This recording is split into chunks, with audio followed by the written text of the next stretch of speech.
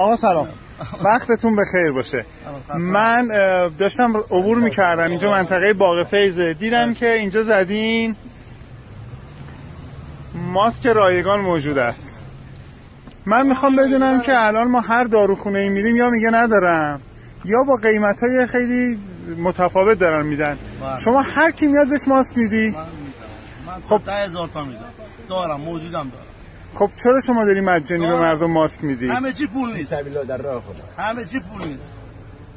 آدم اگه گذشته باشه همه چی. خدا من به مالش برکت میده. من اینو حس کردم. یعنی اگه الان بیاد یکی دو تا بگیره دوباره بره بیاد دوباره بخواد. انقدر اینجوری شده اینجا من دادم. برو پنجاه دلار آره انقدر چه, چه. تجربه ای تو زندگی؟ دارم تو این ده هزار تا ماسک تو اگه بخوای بفروشی ده هزار خیلی تا خیلی پول میشه. پول میاد همیشه. این همیشه بده پول همیشه میاد. من روزایی بوده که کارخانه باز کردم. پول نبوده توش یه روزی هم باز کردم پول بوده توش من همه این روزا رو کشیدم. پول میاد.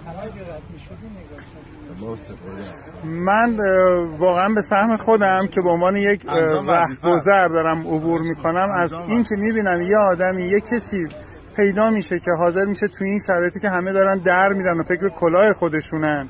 به فکر دیگران از شما خیلی سپاس گذارم دست شما درد نکنه ممنون و متشکرم